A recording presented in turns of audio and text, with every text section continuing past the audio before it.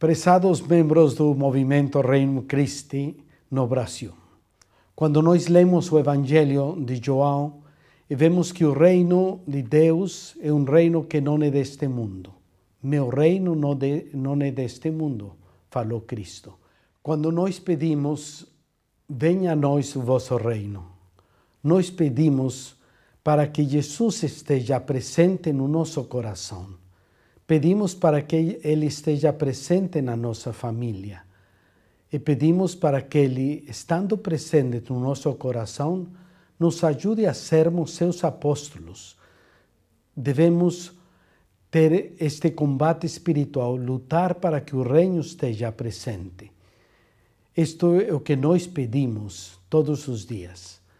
Nós queremos que o reino, que chegará à plenitude, so, somente ao final dos tempos, que esteja presente desde este momento no nosso coração, na nossa vida. No dia do reino, todos nós nos juntamos, celebramos, rezamos juntos, mas o mais importante é que nós estejamos convictos, convencidos que somos apóstolos do seu reino, que somos apóstolos do Evangelho de Jesus. Nós queremos que o reino esteja presente. Não queremos que esteja somente presente ao final dos tempos. Queremos fazer presente o amor de Deus na vida dos homens. Mais uma coisa para vocês. Eu gostaria de pedir muitas orações pela Assembleia do Movimento que vamos ter nas próximas semanas.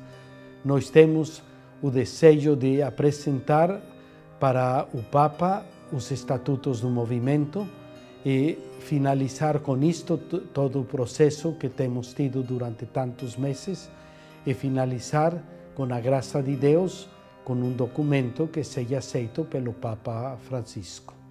Feliz Dia do Reino Cristo.